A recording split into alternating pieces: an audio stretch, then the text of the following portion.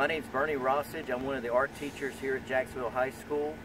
And I'm highlighting this piece because this is one of my favorite inspirational art pieces that we've done around campus. And the reason this one's so special is that last year when the storm hit and we were out of school, a dozen kids of my art students showed up during those breakout session days and we painted this. We spent like three days on it. Uh, and, the, and the neat thing is it says one school, one team. And right behind us is the, the uh, right in front of us is the practice field where all the team sports practice. So things like this unify the school and show the culture that that we are one team, one school.